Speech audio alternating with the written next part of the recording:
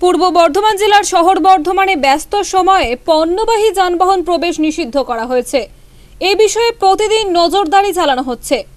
পণ্যবাহী যান চলাচল করবে রাত্রি দশটা থেকে সকাল ছটা পর্যন্ত। রবিবার সন্ধ্যায় দেখা গেল শহরের প্রাণকেন্দ্র কার্জন গেট চত্বরে ট্রাফিক পুলিশের উদ্যোগে কড়া নজরদারি চলছে। DSP headquarter traffic Atanu Banerjee জানান শহরে যান চলাচল নিয়ন্ত্রণ করতে এবং দুর্ঘটনা রুখতে পুলিশ প্রশাসনের পক্ষ থেকে এই সিদ্ধান্ত গ্রহণ করা হয়েছে। উল্লেখ্য, শহরের তিনটি প্রবেশ পথ তথা উল্লাস মোড়, তেলিপুকুর মোড় ও নবাবহাট এলাকায় কড়া নজরদারি চালানো হচ্ছে। বর্ধমান শহরে একটাই রাস্তা, সেটা হচ্ছে জিটি রোড।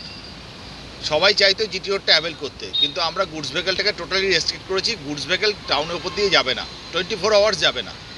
এক্সেপ্ট যারা বর্ধমানে, যারা ব্যবসায়ী আছে তাদের মালপত্র আসলে তারাই ঢুকতে পারবে। তাও সেটা রাত্রি দশটা থেকে সকাল ছটার মধ্যে। দিনের বেলা কোনো গাড়ি চলবেই না এবং বাকি যেসব গাড়ি বাইরে যায় যারা কালনা যায় কাটোয়া যায় বা অন্য রোডে যায় তারা যাবে হচ্ছে উল্লাস দিয়ে ঢুকবে না তারা নবাট দিয়ে এনএইচ টুবি হয়ে তারা ছ মাইল দিয়ে তারা কেউ কাটোয়া যাবে কেউ কালনা যাবে সেইভাবে যাবে।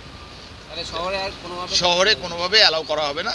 শহরে শুধু শহরের গাড়ি যারা ঢুকবে তারাই শহরে বিজনেসম্যানদের গাড়ি ঢুকবে আর কিছু না। সেটা স্যার কবে থেকে সেটা অলরেডি আমাদের স্টার্ট হয়ে গেছে ওটা চলছে কন্টিনিউ চলছে। বর্ধমান থেকে পিন্টু প্যাটেলের রিপোর্ট আনন্দ বার্তা।